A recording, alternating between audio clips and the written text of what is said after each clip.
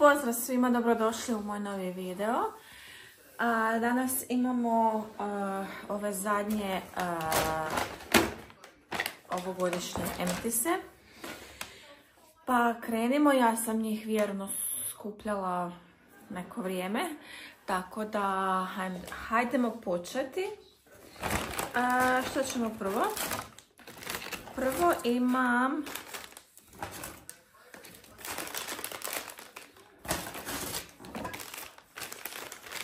Gloria Cappuccino, znači najljepši cappuccino. A ovdje imam četiri komada. O njemu sam već više puta pričala. Onda imamo jedne ove od, eh, ja mislim da je ovo od Lidla, nisam, eh, ove štapiće. Zatim imamo, eh, ovo je kao čokoladni porridge. Evo imamo dlaku još, također. E, ovo je samo prazna kutija od e, parfema. Ovo je Elizabeth Arden e, Fifth Avenue. Sviđa mi se taj parfem, ali sam odlučila ovu njegovu kutiju baciti. Jer mi većinu vremena jeli stoji van kutije. Zatim imamo ovaj miks sa odstranjivač šminke sa očiju. Iako ja njega potegnem i po licu, ali nema veze. jako dobar proizvod. ja koristim ga već duže vrijeme i sviđa mi se e, zato što otopi maskaru jednostavno sa vaših očiju i maskar se puno lakše skida.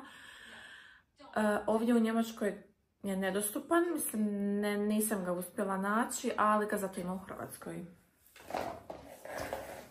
Da ne bi bacilo daljinski. Onda imamo ovaj jedan balen sapun za ruke. ovo je bio makadamija i bijeli lotus. Pa lijepo je, mislim lijepo je mirišao, mislim sapun ko sapun, ništa specijalno. Zatim imamo ovaj sil. E, sve u jednom, znači to je za fleke. E, meni to iskreno ništa nije radilo i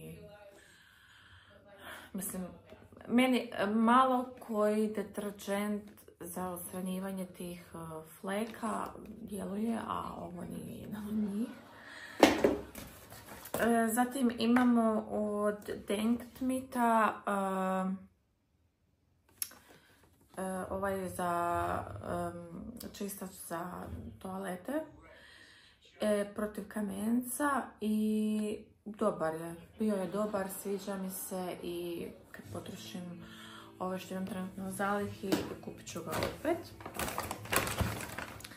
Zatim imamo od Altere, to je iz Rossmana kremu za proširanje sa mirisom bio vanilije. Jako lijepi miris. jako lijepo ta se vanilija osjeti i dobar je. Znači bila sam zadovoljna i možda ga nekad kupim opet. Zatim imamo od Gloria šampon za rast kose. Ovo je za normalnu kosu. Ima koprivu, ricinus i ružmarin. ne znam. Mislim, neću sad tvrditi da ne radi. Ali, što ga nisam baš sad redovito upotrebljavala i vamo tamo i nisam baš pazila. Ali ono, nisam ništa primijetila specijalno, što ne znači da šampon ne radi.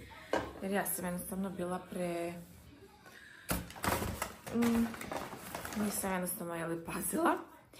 E, zatim imamo ovaj CeraVe, ovaj pjenasti čistač za lice.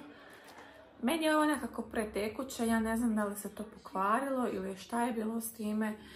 Tako da ću ja to uh, baciti. Mislim, ostalo je jako malo, da se razumijemo, nije ostalo puno.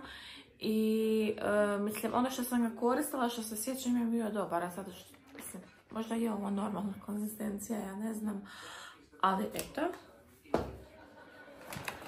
Imamo još jedan ovaj odstranjivač šminke sa očiju. Zatim imamo, ovo je Veleda Baby. Da, Veleda Baby. Ovo je losion i šampon, znači kompletan body wash. To sam upotrebljavala i mislim, ono, ok, blago je, ništa ne mogu loše reći o tome. Zatim imamo ovu jednu ambalažu. Ovo je kao melem. Tako otprilike. samo što je veće od melema. Ima, sad ću vam reći, 25 grama. Mislim da košta negdje oko 8-9 eura. meni je bolje od melema zato što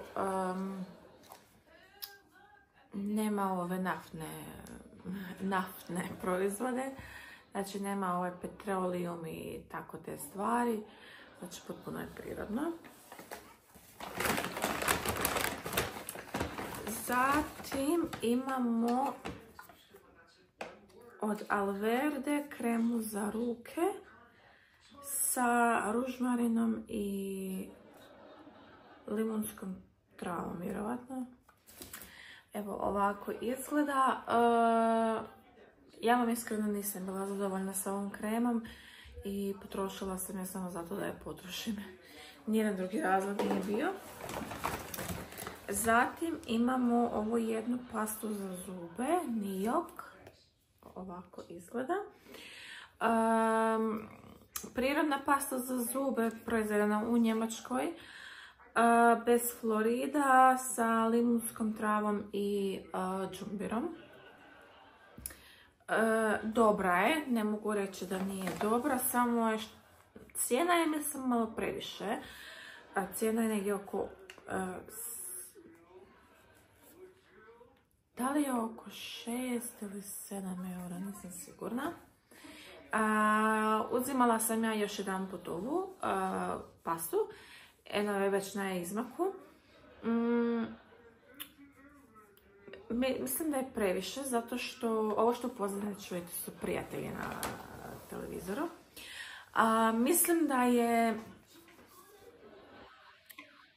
preskupa, ok, ima se prirodne sastojke, ne, kažem, ali na primjer bila sam prije nekoliko dana u Alnatura trgovini i na, pronašla sam onako pasta za zube za 2,5 eura, 3 tako da, ono, mislim, ja ne znam kakve su te druge paste za zube, probat ću ih pa ću vidjeti, ali mislim da je previše, s obzirom na to da morate skoro svaki mjesec kupovati. Zatim imamo ovaj jedan šampon. Ovo je, uh, u stvari ovo nije šampon, ovo je, regenerator e, za volumen i snagu. E, evo kao što vidite on se odvojio i ne znam, to se ja mislim više ne može spojiti nazad. Um, iskreno ne sjećam se nekakav je bio, ni što je radio, mislim skoro je pun, tako da jer sam se bila među vremenu razbolila, pa nisam imala ovoga, nisam trebala brati kosu. Tako da, eto. I imamo još jedan proizvod od Enioka, Ja se vam se tako izgovara. Ovo je prirodni dezodorans. Ovo je Peach Perfect miris, znači 100% je prirodna kozmetika. Jako lijepo miriše, ova staklenka je jako lijepa. Dezodorans je jako dobar. I mislim, on se isplati uzeti, sada sam zaboravila koliko košta. Ali se isplati uzeti zato što dugo traje. Znači, komotno vam može trajati dva mjeseca, čak i više, vjerovatno. Mislim da je trajao duže. Tako da on, i nisam primijetila ništa ovoga da se ja sad nešto ili više znojim ili da se e, ili da on prestane, ajmo reći, mirišati. Ne osjeti se nikakvi neugodni mirisi poslije njega. Zatim imamo Gliskur, ovo je... Mm, što je ovo? Ovo je nekakva zaštita za kosu. Kao što vidite nije on upotrebljeno kako treba. kao što sam rekla već umeđu vremenu nisam imala kosu, tako da jednostavno mislim da mu je prošao rok trajanja. Kaže da ima keratin serum i moringa seed extract. Mislim, lijepo miriše, da se razumijemo. Ali ja kad vam vidim ove znakove, ovo je e, zapaljivo, znači da ima jako puno alkohola u sebi. I tako to nekakve znakove, meni se to odmah ne koristi i bolje da ja to bacim. Zatim imamo od Bale e, ovu e, kremu za pranje lica. Dobra je. Ne mogu reći da je loša, nije. Dobra je, radi svoj posao. očisti kožu. To imam ovaj jedan tester za parfem uh, Armani Giorgio Armani C. Uh, zatim ovo jedno pakovanje od Tufera, ovo su Ebelin Bio. Mislim, meni su ti se Tuferi isti, mislim isti. Ono, samo što više preferiram sad one veće, jer su lakše za korištenje imam tu još ovih test, mislim testera, ovih ambalaži. ovaj mi je lijep. Ovaj, ovo je Mon Paris Yves Saint Laurent. Jako je lijep, samo što je toaletna voda. I ovo iskreno nisam probala, tako da ni ne znam kakvi su.